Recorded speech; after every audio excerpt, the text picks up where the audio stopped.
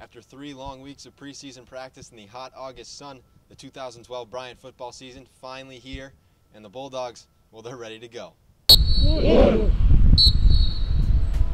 It was really for the first time we have some stars, but those stars don't want to be separate. They want to be part of the team. And I truly believe that gives us our best chance to have a good year.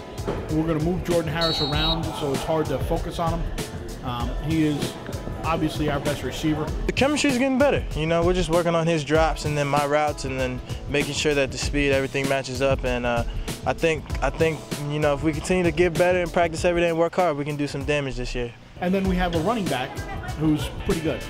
Um, Jordan Brown was the Offensive Player of the Year in our conference last year. He was nominated for the Player of the Year in the nation, made the final 10. You can't wear him out. And, uh, and I would expect him to have a very good senior year. Everybody got it? Yes, sir. Anybody have any questions? No, sir. Gonna break it outside. Let's go. We have eight defensive linemen that are going to play, and seven of them are coming back for more than this year. We think that's the strength of our team. On the D line, we've got a lot of experience coming back.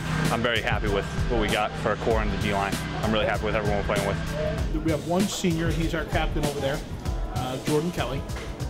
And other than that, everybody's a sophomore or junior. I feel like the, the team and everybody's on the same page. Everybody knows where we want to be, so everybody's gonna is working hard to, to be where we want to be at the end of the year. We're all real excited. Uh, we've been waiting for this for you know three long weeks. Uh, really excited. We got a good game plan. I think we're gonna do real well out there. So just waiting, you know.